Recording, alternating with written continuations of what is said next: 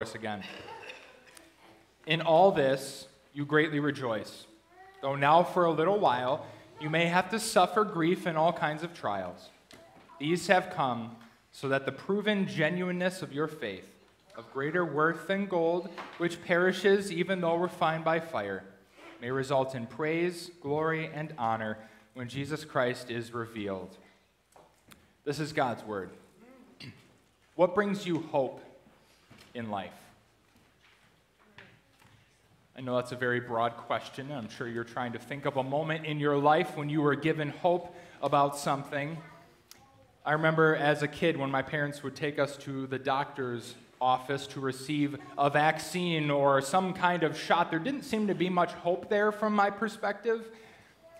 Yes, there was hope that after receiving the vaccine, I wouldn't get polio for the rest of my life, but that didn't make me feel better in the moment, having to get this painful needle into my arm. But my mom gave me the hope that after we left the office, I would get some ice cream or a Slurpee for my efforts of sitting there and receiving the shot. She gave me hope that the pain I would endure would not be more than I could take.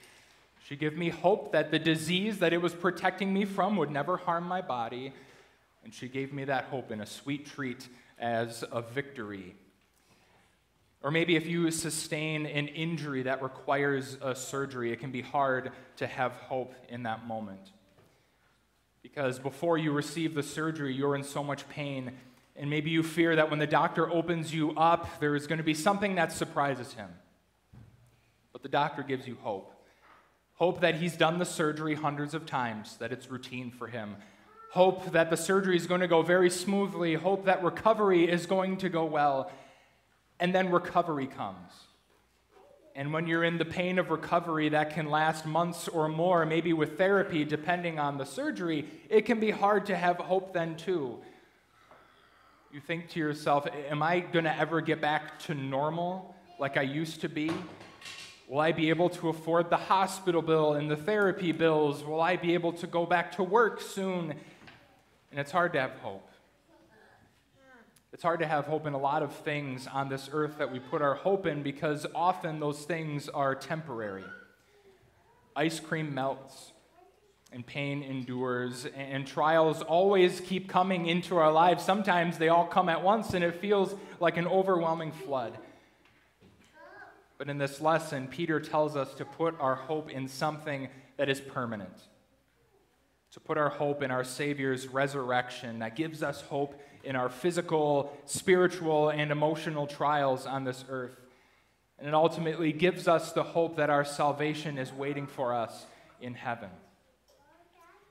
This first letter that Peter wrote to the believers was an instruction to them for facing various trials in their life.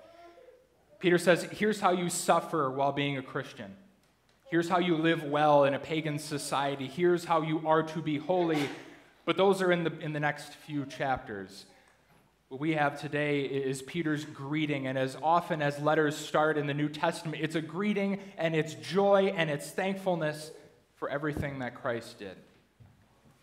Because the people that Peter was preaching to, they had not seen their Savior with their own eyes. They went from the word of Peter's mouth, and he says this to them. In all of this, you greatly rejoice, though now for a little while you may have to suffer in all kinds of trials. In the first part of this section and the last part are that joy that we receive in the resurrection of our Savior. But Peter knows the reality that we live in. These two pieces are like the bread. In the middle, that PB and J is the suffering that Peter says, the reality of this world that we live in. And all of them are equally important to understand what this means Jesus' resurrection for us. Because Peter realized that the people of his time needed hope. Every believer at that time was in fear for their life because they were out to kill Christians. If they put Jesus to death, then what's to say they're not going to put us to death? We saw what the disciples were doing in locked rooms, afraid for their lives. They lived in a time of believing by faith and not by sight. They didn't have the blessing of Peter, who was able to see his Savior with his own eyes. to, to watch him perform miracles, to see his transfiguration, to help him walk on water. He saw the empty tomb. He saw him suffer. He saw him be ascended into heaven. The believers he was writing to didn't get the chance to see their Savior like that. But Peter reminds them of this Though you have not seen him, you love him. And even though you do not see him now, you believe in him and are filled with an inexpressible and glorious joy. Those believers put their faith in the same Jesus that Peter followed, although they could not see him. And we also put our hope in that same Jesus, although we cannot see him today, because we also walk by faith, not by sight. And we face similar trials in our lives today as Christians. We also are persecuted for our faith, albeit not as violent a way as some of the apostles faced. But we also believe in something we can't see. We put our hope in something that we cannot touch. And that doesn't make sense to the world. It sometimes doesn't make sense to us because we are people that like to put hope in things that we can see, that we can feel with our senses. We put our hope in the things that we have. We put hope in ourselves. We put hope in others around us. But what happens when the world faces crises? The stock market implodes and people lose millions. Where's the hope? Inflation is going crazy. Where's the hope? Jobs are lost. People get sick. People die every day. Where is the hope in this bleak world? Another shooting happens. Where's the hope in this world? But the hope that we have, if we put it in things on this earth, goes away so quickly, and it's so easy for us to reach out to God and say, Why would you let something like this happen? The fact of the matter is, we don't put our hope in things that are permanent. But when we, as believers, face grief and all kinds of trials with whatever is affecting you personally today, we put our hope in our Savior. And here's why. These have come, these trials, so that the proven genuineness of your faith, of greater worth than gold, which perishes even though refined by fire, may result in praise, glory, and honor when Jesus Christ is revealed.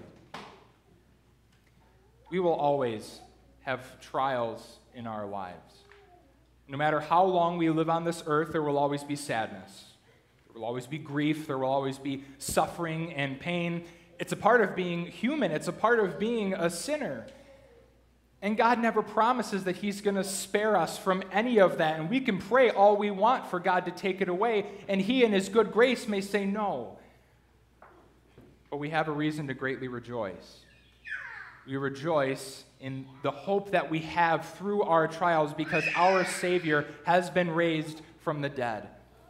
He gives us a living hope that is permanent and Peter says the payoff of that grief and trial is that it refines our faith and makes us stronger in our resurrected Savior.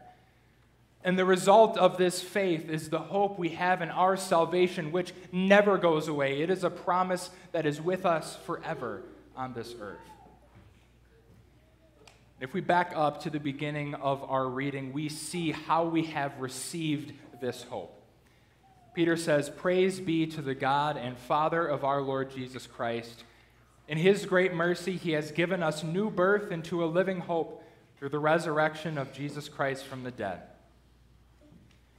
Last week, we celebrated Easter. We celebrated the resurrection of our Savior. We know what Jesus did for us. Today, we learned how his disciples sometimes doubted what Jesus did, and he proved to them by showing himself that he indeed had been raised.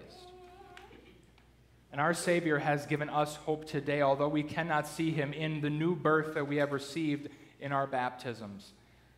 It's the same mercy that caused Jesus to die for our sins. It's the same mercy that we receive every single day, despite the sinfulness that lives in our hearts. Peter says, through that mercy, we have been given a living hope a hope that doesn't rely on earthly things because earthly things are often disappointing and many times temporary.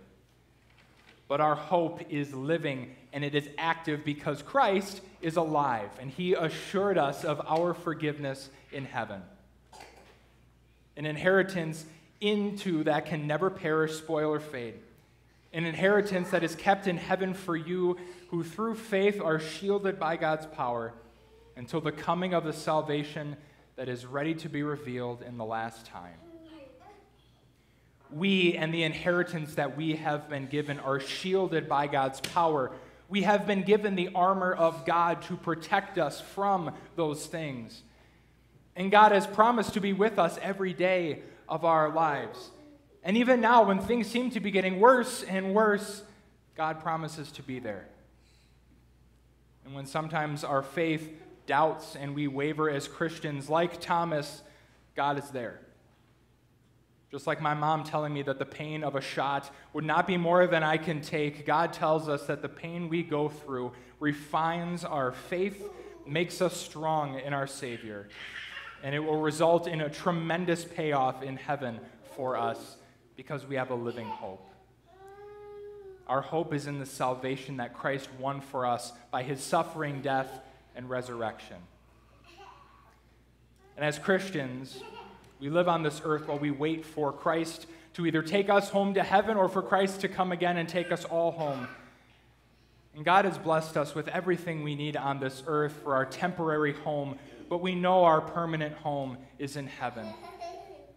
And during those trials in our lives, it just reminds us of how temporary things are on this earth, how this stuff in the long run is meaningless because what we have in heaven is greater than anything we can imagine here on this earth.